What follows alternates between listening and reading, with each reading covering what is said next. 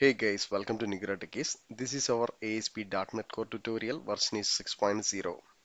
So part of this video, I am going to explain authentication in .NET Core Web API. In my previous video, I just explained this basic authentication and how to implement this basic authentication in our application. The similar way, I am going to explain this JWT authentication. First, we can talk about what is JWT authentication. This JWT stands for JSON Web Tokens. So this is a open standard to pass data between client and server and enables you to transmit the data back and forth between the server and consumers in the secure manner. So here the concept is very simple. First we are going to create a web token. For creating the token we need one security key that we can hard code in our application and the second thing is we have the claim information so whenever the user trying to create a token they will send in credentials. So we can validate against our databases. After that we can get our unique information that we supposed to include in our client side. And the final one is expiration time. Actually we can provide the custom expiration time. So when we are generating the token we can provide the expiration time also. So once we created our token uh, we have to return from our function. This is all about the generating the token so the second part is validating token if you are trying to access any of the secured API you have to pass this authorization header in this authorization header you have to include this the token and also the prefix you have to include the bearer keyword so the system will validate our token. It will check whether it's valid or not, whether it is expired or not. So if everything is fine, it allow us to access the particular service. This is all about the concept. I have listed out all the steps. We can go one by one. So first we have to enable this authentication, adding this use authentications. We supposed to do in our program.cs file. So if you noted here, it's already we did. Okay and the second thing is uh, we have to create one method for generating the token so now let me create one more controller here so the my controller name is user controller.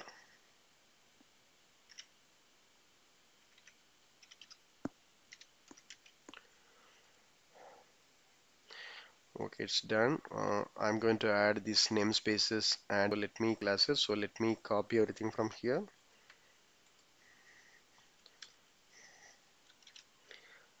And as I mentioned uh, my controller name is user what it's saying this already the definition is contains. So let me resolve it control shift P. Okay the issue got resolved. And also this author is also not required because uh, this controller is for public. So inside that I'm going to create one function. Public task because I'm going to use an asynchronous programming.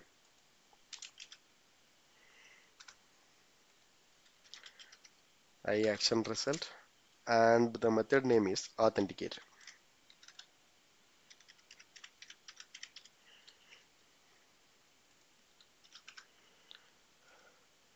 and this is the one of the post method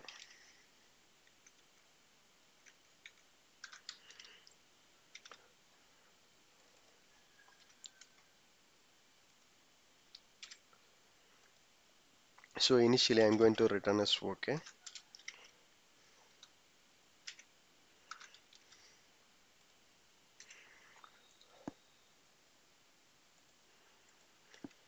okay this is done. The next step is uh, we have an input parameter. So username and password. So for that I am going to create one class here. User credential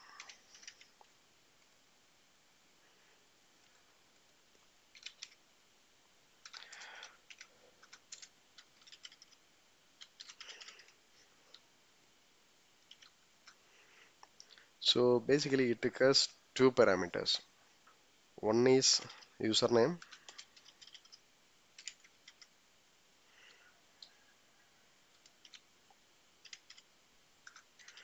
and the next one is password.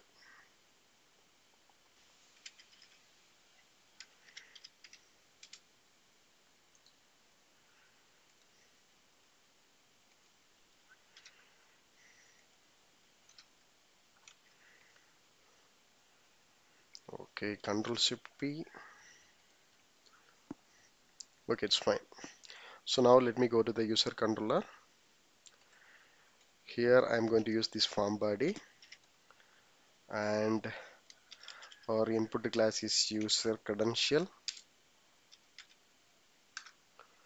So now we have the credentials so our first step is we have to check against this database. If it is valid we have to allow for next level in case it's not valid we have to return as the unauthorized. So already I have an database context so let me inject here.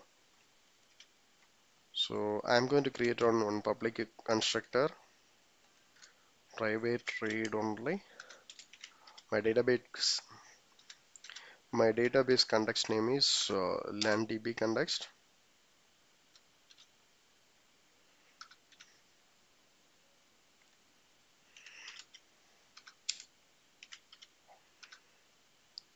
so let me set the value here this dot.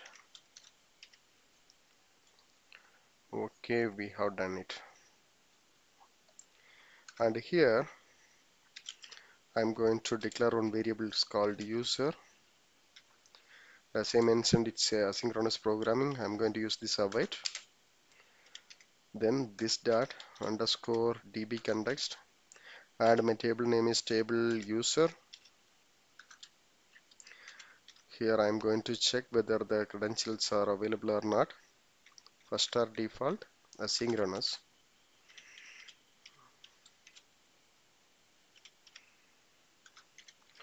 So user id double equal to user cred dot username.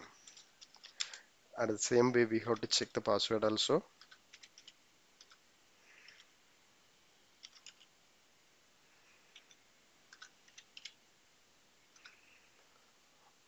okay we have done it. Now I'm going to check whether it has any data or not. If there is no data as I mentioned I'm going to return as the unauthorized.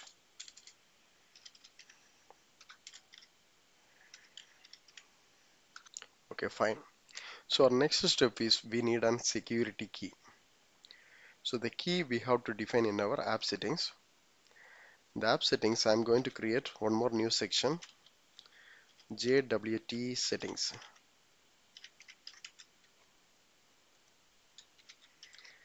In the settings I'm going to define one variable. Is called security key.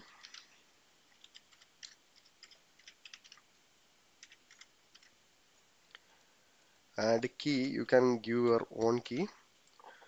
This is for the testing purpose. I'm just giving like a this is our secure key.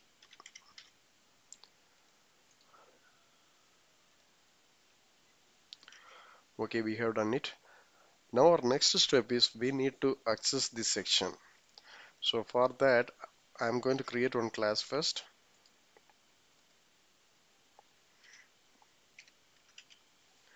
Here the naming convention is very important one public class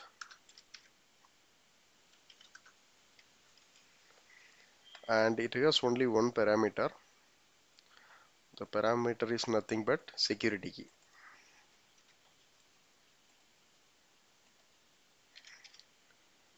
Public string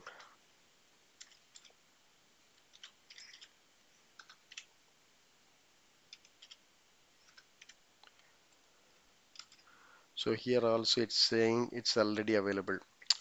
It's a kind of the C sharp extension issue. So resolving this one you have to press control shift P. Then you have to type like a OmniSharp or restart OmniSharp. Okay. It's resolved. Okay fine. Our next step is we have to configure this value in the services. Then only we can inject any of the controller. So let me do this one also var jwt settings.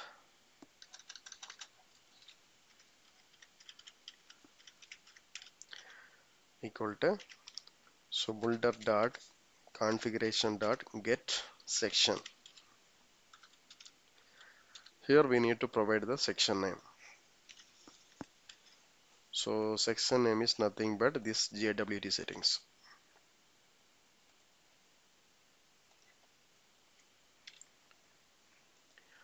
and now we have to configure it.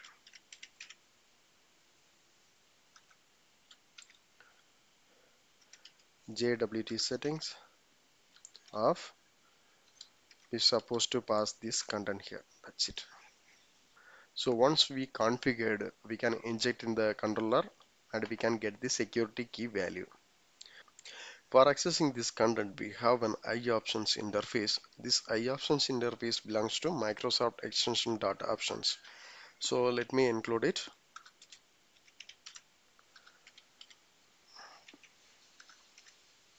Okay this is done.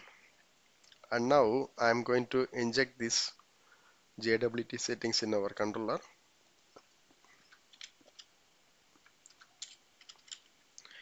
private read only JWT settings. Again this JWT settings. And here as I mentioned I am going to use in this iOptions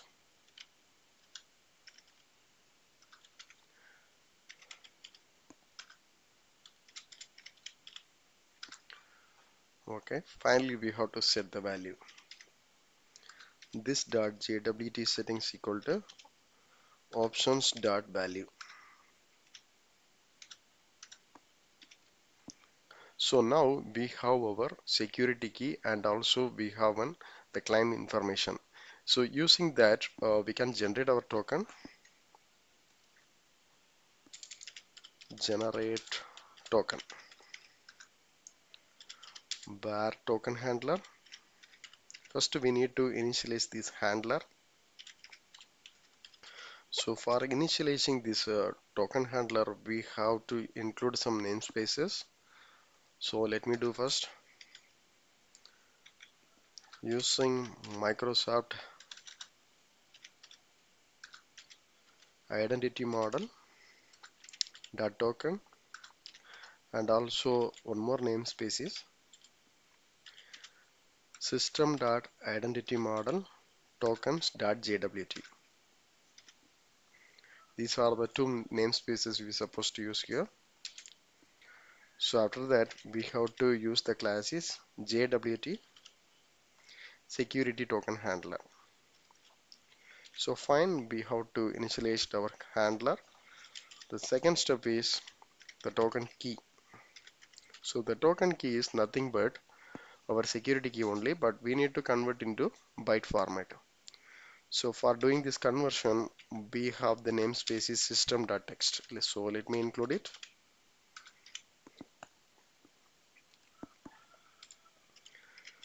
so here encoding dot utf8 get bytes. So here let me pass our security key. So the security key is available in the JWT settings. Dot security key. Okay the final one is token descriptor called a new security token descriptor. And it has three parameters. The first one is subject. So in the subject basically uh, we have to include our claim details. So new claim identity. So this claim identity is belongs to system.security.claim so let me include in the top of that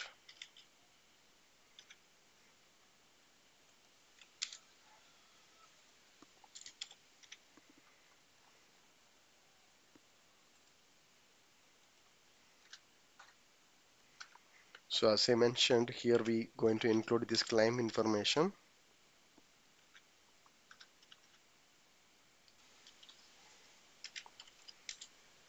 New claim of. So the claim type is name and the value is uh, we have to give any of the unique value. It could be a user ID or username or else we can give the email ID also So I'm going to give this a username only. So user slash user ID. Okay, that's it. Let me format it. So the next one is expiration time. So I'm going to just 20 seconds. Data dot now dot add seconds of 20. The final one is signing credentials. So new signing credentials of so it requires two parameters. One is security key and another one is algorithm. So new symmetric key. We need to pass in the byte format. So already we have the token key. So let me pass it here and the next one is algorithm. So security algorithm is we have the different options. So I am going to use this HMC SHA 256 okay we have done it. So again let me format it. So now we have our token descriptor. So using this information we can generate our token. So var token equal to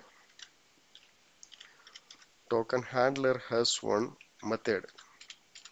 Create token. Using that we can generate our token. So it requires the security token descriptor only. That's what we already defined. So let me pause it here.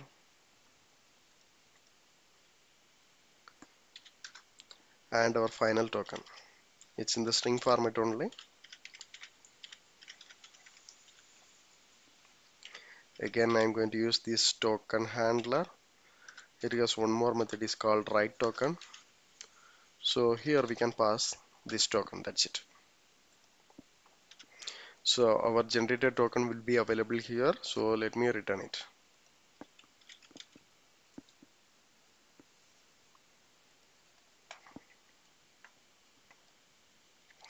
So now we have completed our first part generating our the token so let me verify this one.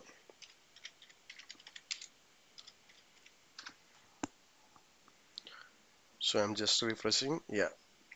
This is actually our controller. So the URL is user slash authenticate. So it requires the two inputs. One is the username. My username is admin user and password is password is admin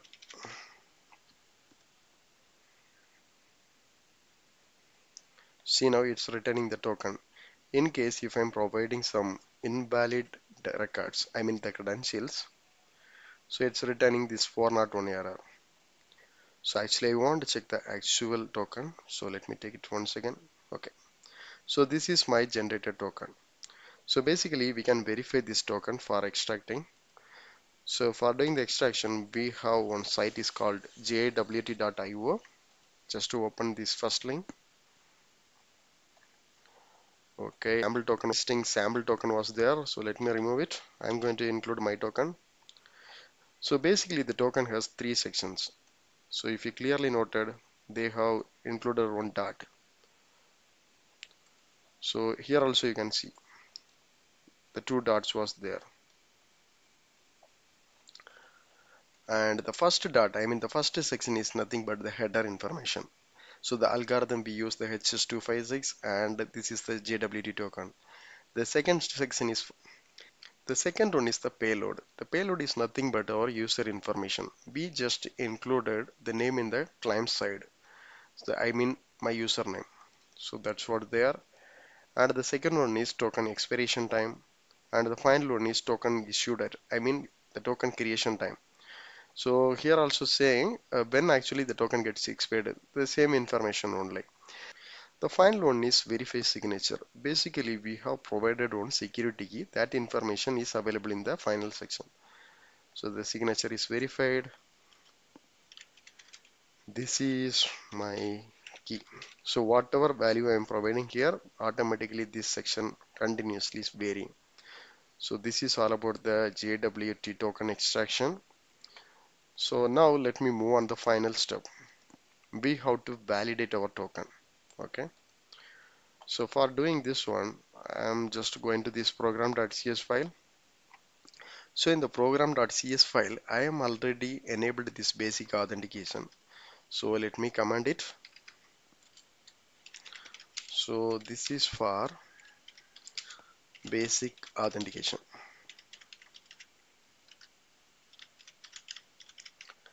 The same way we are going to enable for our JWT authentication also. The steps are almost similar but some difference was there. Again we have to use this add authentication only.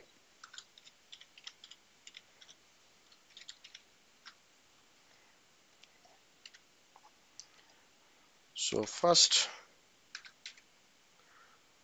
we have to include this default authentication scheme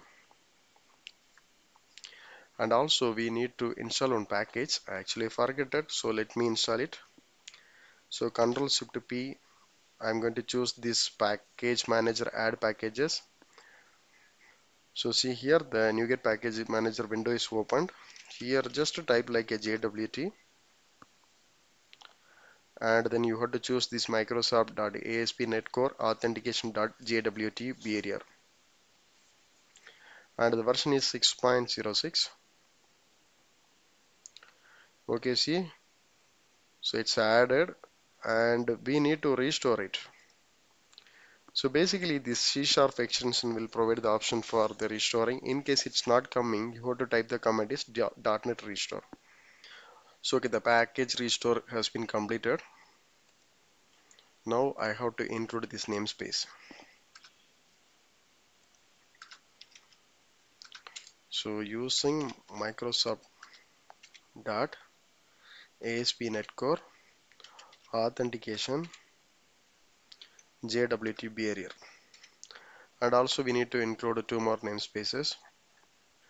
One is for Microsoft identity model dot tokens and also another one is system dot identity model tokens dot JWT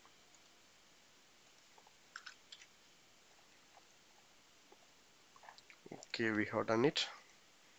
So here the value is JWT bearer defaults dot authentication scheme. The same way we have one more thing.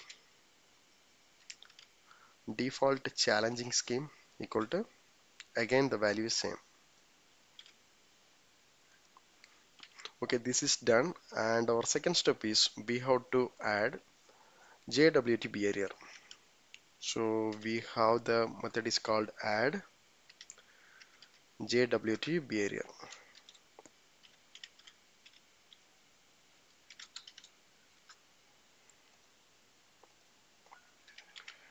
Here the first step is requires HTTPS metadata equal to true.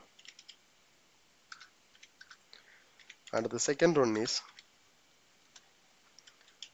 save token equal to true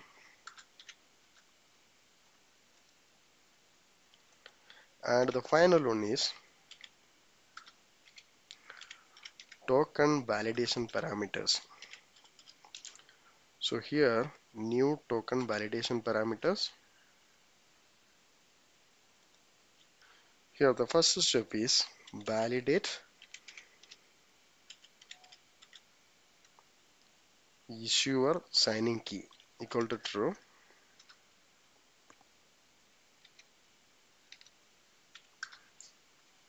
and the second one is signing key issuer signing key equal to so the key already we have included in our app settings.json. So we need to access it.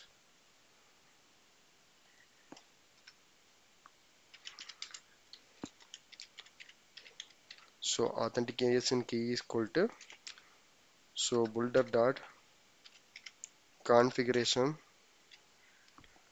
dot get get value the type is string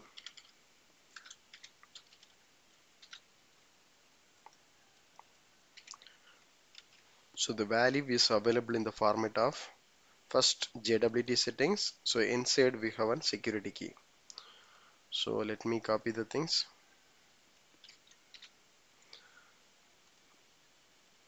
so after that the security key okay we got it. And we have to convert into the so the format of bytes. So we have to include the namespace is system.text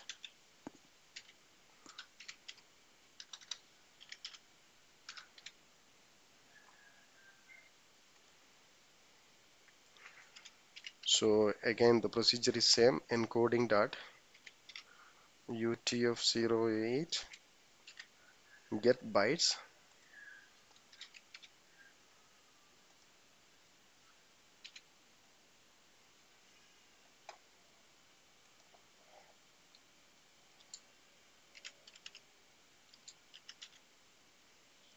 Symmetric security key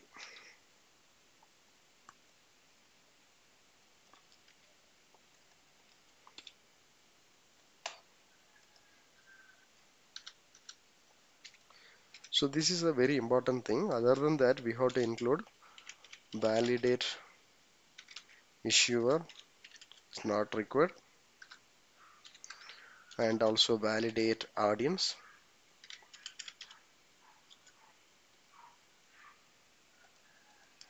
Okay we cannot give this semicolon. Validate audience also it's a false so let me format it. Okay. We have done our changes. Now we can verify it. So control C again I need to run the application .NET run. Okay let me refresh the swagger side. So I'm trying to access this uh, product function.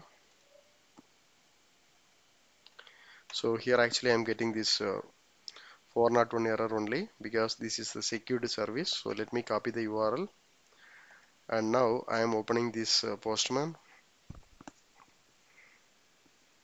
So here I am going to open one new tab. And my method is the get method only. Here I'm going to include this URL and this header side. I'm going to add this authorization header. And a token is the bearer token. So bearer. So finally we have to provide our secured token value. So let me generate the token once again.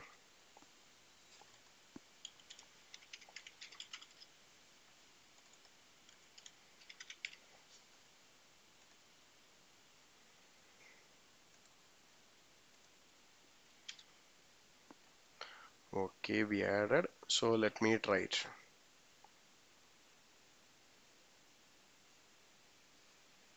Okay see now we got our value. This is all about the JWT authentication. Hope you got the better idea about how to generate one token and how to implement this JWT authentication in our application. You got some better idea. Still we have one small issue.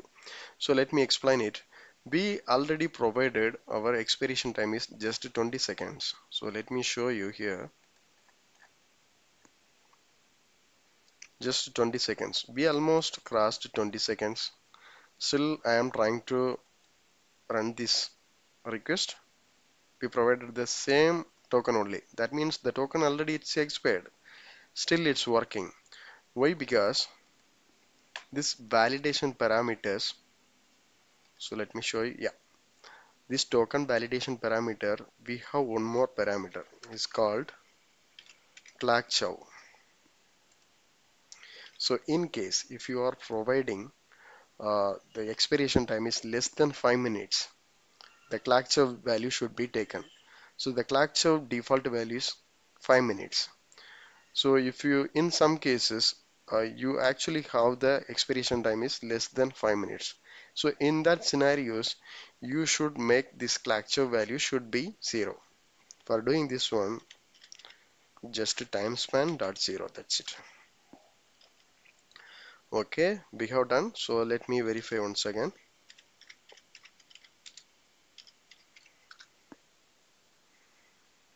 okay application in running mode so let me try to access the same request okay it's for not one unauthorized error so let me generate the token once again. Okay the token got generated. Our expiration time got also started. I think almost we 5 to 10 seconds covered okay see we got the value so we can wait just 20 seconds. Now I am just accessing it so see we are getting this 401 unauthorized error.